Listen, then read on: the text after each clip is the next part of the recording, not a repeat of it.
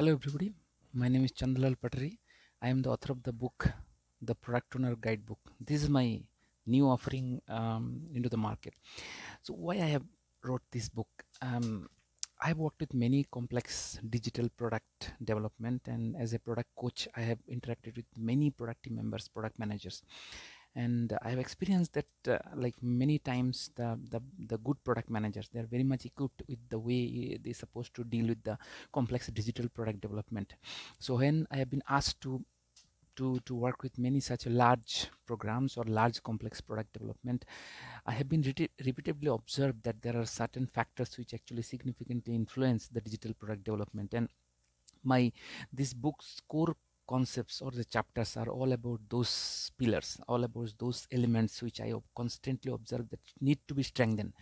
So i'm putting them as a chapter like um, few of them are leadership contribution to the product management. Take any digital program take any digital transformation program you will come to know this how well this leadership contribution is is influencing the digital product development. The stronger the leadership the better way that digital product transformation can happen.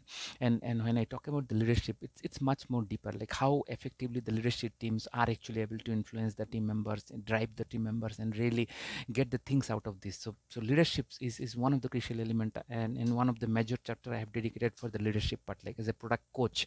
Like how are we observing those elements? How are those factors has been strengthened? Where are the gaps and how are we bridging those gap is one of the factors take another element the customer contribution into the product management. How effectively we know about our customer? Do you really understand the customer pain points? What all steps you are taking repeatedly to to discover those customer needs to understand their pain points to really capture those pain points systematically and really ensuring this through our offering through our service we are actually um, bridging those gaps? So another another aspects of the product team or the product coach part like I, I have significantly considered this is the customer discovery and really enriching the knowledge about the customer discovery part part. All the product team members it's not only just the developer or the business experts need to be really focusing on the customer experience all the elements all the people involved in this part is actually need to know about this customer element so considering this another factor like another another pillar i would say that the process part the end-to-end process part. Process is not only just about the um, how we build the product and solution. It's it, it in encompass everything. So the building the product capturing the product requirement deploying the product requirement end-to-end perspective like how effectively these processes are in place. Where are the process flaws are happening? What are you doing to really ensure these processes are continu continuously becoming maturing and becoming robust?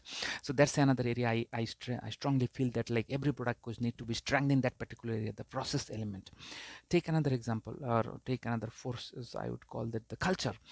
Culture the more and more digital transformation is happening nowadays the culture play a significant role because the culture kills or culture drives the innovations to happen. So as a product coach we constantly focus in this cultural element. Like wherever you see the flaw we need to really constantly work on this particular thing. Though it takes long long effort to really improve this particular thing the cultural dimension part. So through mindset through coaching through training through constant focusing and through constant reviewing this we can really come out with a better way of really dealing with the culture.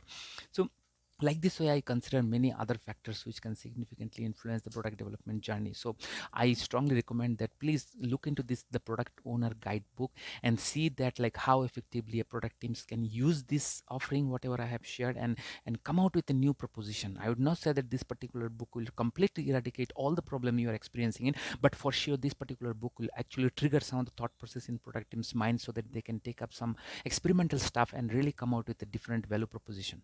So please do refer this book and see that like how it can enrich your knowledge. Thank you so much for listening to me